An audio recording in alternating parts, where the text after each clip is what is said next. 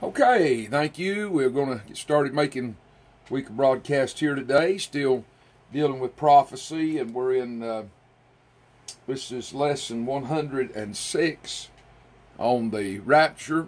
We'll go ahead and get the radio started and fired up today. And good to have everybody with us and on board today uh, for the uh, gospel voice today. Okay, and.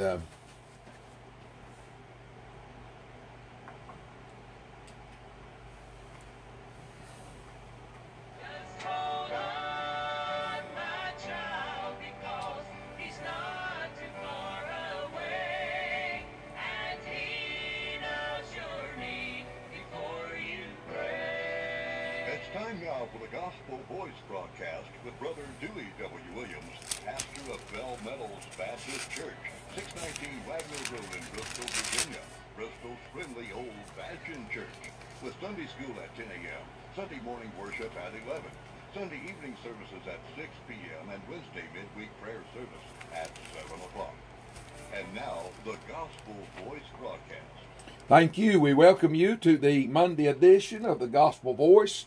It is our joy and our privilege to be back one more time with the daily uh, Gospel Voice radio broadcast.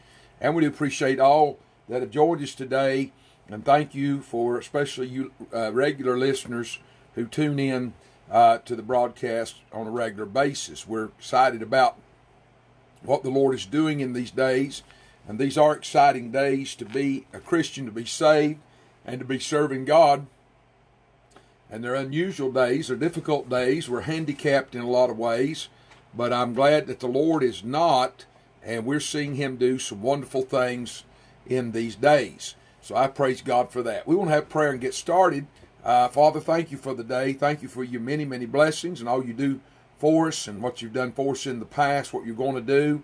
Lord, our future is very bright and wonderful as a child of God.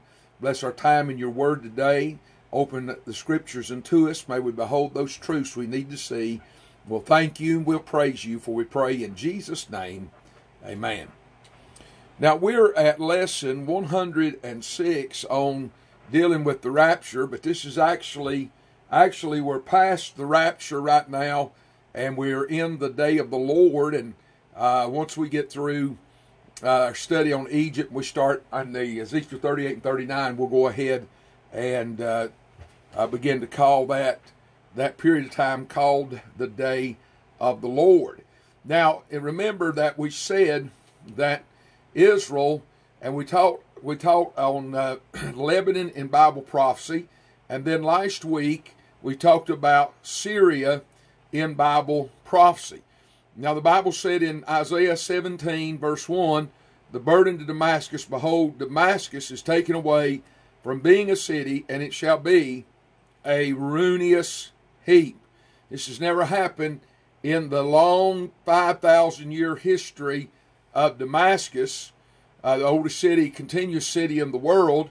It has been controlled by many different people down through history. And of course, when you go, you look at the ancient days and uh, you remember the Babylonian Empire, that uh, the Assyrians uh, controlled Syria for a while, and then the Babylonians uh, under Nebuchadnezzar, the head of gold, the arms of silver, the Medes and the Persians, they controlled Damascus. The Greeks, the belly of brass, controlled Damascus. The Romans, the legs of iron, feet of iron and clay, controlled Damascus.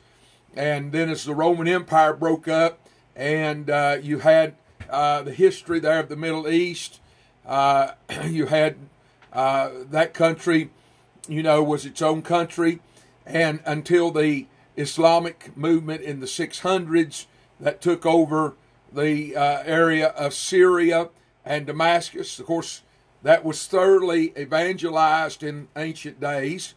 and then in the 1517, we have the uh, complete takeover of the Ottoman Turk Empire of what is today Syria, Lebanon, Syria, Jordan, Iraq, Iran, Saudi Arabia, all of those areas over there, Lebanon, uh, were controlled by and in the Ottoman Turk Empire. Now, World War One uh, uh, defeated the Ottoman Turks, and drove them back. And under the French mandate, Assyria was formed as well as Lebanon. And of course, it has been, uh, we've been watching the history there uh, for some time in Syria with the very bloody uh, revolution they've had. But notice that the Bible says that a time is coming that Damascus will be a ruinous heap. It's a huge city, and it's a very constructed in a very uh, con- with much concrete and steel. So it is going to take something to fulfill Isaiah 17 and verse 1 will take a very catastrophic event. And uh, some think some type of a nuclear warhead, probably that, that Israel probably has some that would um, cause damage without, uh, without uh, uh, you know, killing everybody in Israel. So here's what I believe the Bible teaches us. Now, I wanted today also to look at and uh, go over to Psalm 83. Psalm 83 is important because it also plays into, remember that we've been teaching that the rapture is going to take place. And the rapture will be accommodated by whirlwinds and fire. And then the third thing is sword. And uh, the Bible said the dead will be from one end of the earth to the other. They'll not be able to bury the dead. So when we have that, and we find then that war breaks out in the Middle East, and uh, Israel will go to war with and defeat Lebanon and defeat also uh, Syria, as we've just studied there in Isaiah 17, and then uh, the country of the uh, country of Jordan. Now, Psalm 83 is dealing a lot with what's going to happen in Jordan. Also, Lebanon uh, is involved here, and Syria, and maybe Saudi Arabia is found within these prophecies. And let's look at it today uh, on the Gospel Voice, Psalm 83.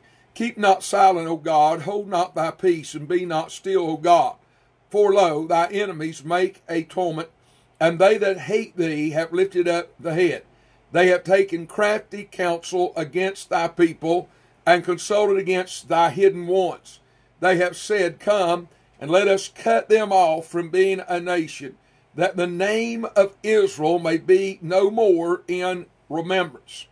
Now, the thing that I'm wondering about is I'm wondering what is going to motivate this unified attack of the Islamic countries around Israel after the rapture, but something is going to happen that is going to uh, bring about a mobilization of Syria and Lebanon. Of course, you got Hezbollah in um, in Lebanon now. Syria has been training, and Russia has been equipping Syria for some time, uh, and of course Israel. And we'll look at uh, Egypt. Egypt's very important to understand what is going to happen, and that will be the doorway to the Ezekiel 38 and 39 international invasion into Israel.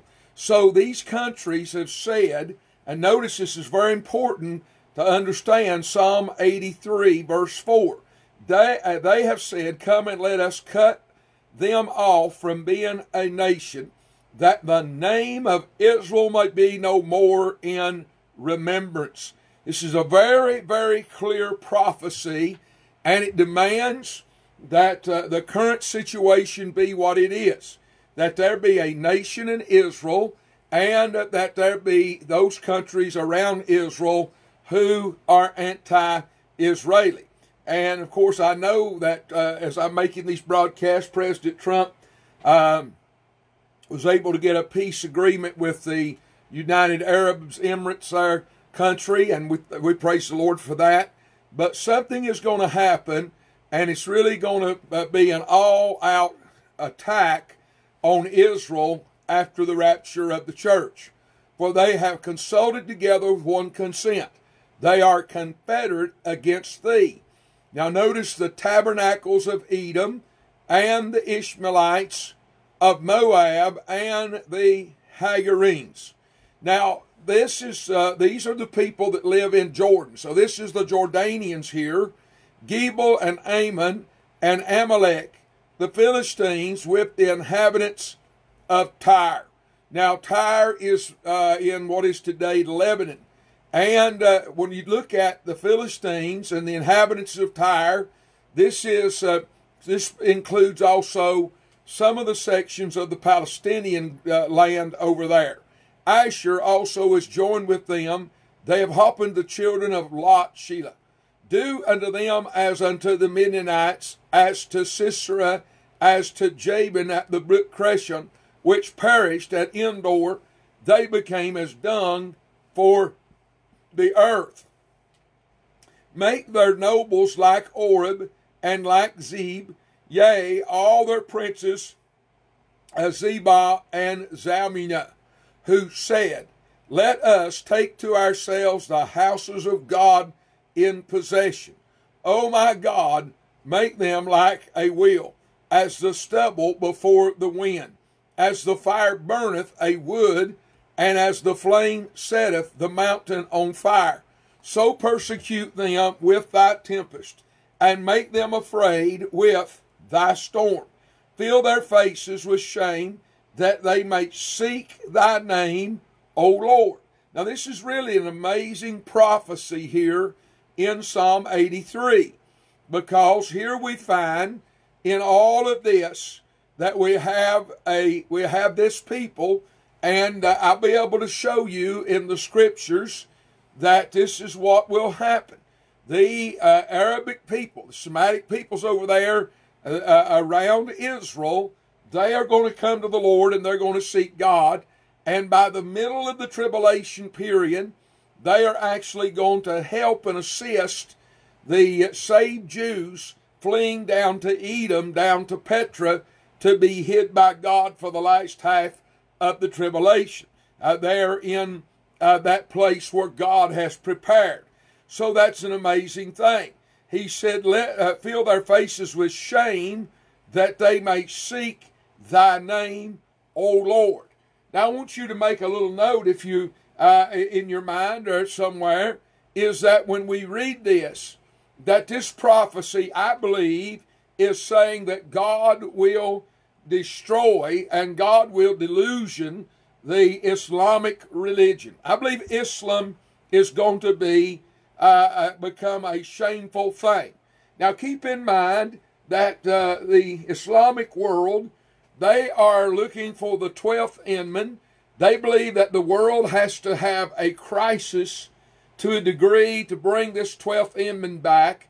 Who is going to defeat and destroy and and conquer the world so that Islam will reign and control the entire world in a kind of they have kind of a almost a millennial age uh, type uh, a mentality that they are looking for when i was coming back from guyana back sometime back and talking to a man and we had long discussions over over two hours we discussed the bible and uh, he was very knowledgeable and he had a lot of scriptures he thought, you know, was going to cause me a problem and so forth and so on. And I thought that was interesting that that man had that many scriptures and that many uh, Bible verses marked, and uh, and he he thought they were verses that uh, undid the Bible like all unbelievers do. But one of the things he told me that was very fascinating is that he that they believe in their in his group of, of, of Islam that Jesus is going to come in a second coming and that he is going to go. This is what they teach that he will go to the Christians. This is what he told me and tell the Christians that he is not God and that uh, they are not to accept him as God, that he is like Muhammad, just a great man and a prophet. And that would be the second coming of Christ. And so he is supposed to come back and turn the Christian world to Islam. Now that is what they believe in that. And uh, but notice the Bible says their faces will be filled with shame. Well, listen, our time has got away from us for today, and we're going to pick up here on tomorrow. And I appreciate you being with us today. And we want to continue looking here and talking about what God is going to do in the Middle East after the rapture takes place. Are you rapture ready? That's the important question today. We love you. Bye now. This has been the Gospel Voice broadcast with Brother Dewey W. Williams, pastor of Bell Meadows Baptist Church, 619 Wagner Road in Bristol. Folks, I'm going to clear it off and work on Tuesday. Stay with us. We'll be back just in a few minutes. Good to see everybody with us on Facebook today. God bless each one of you.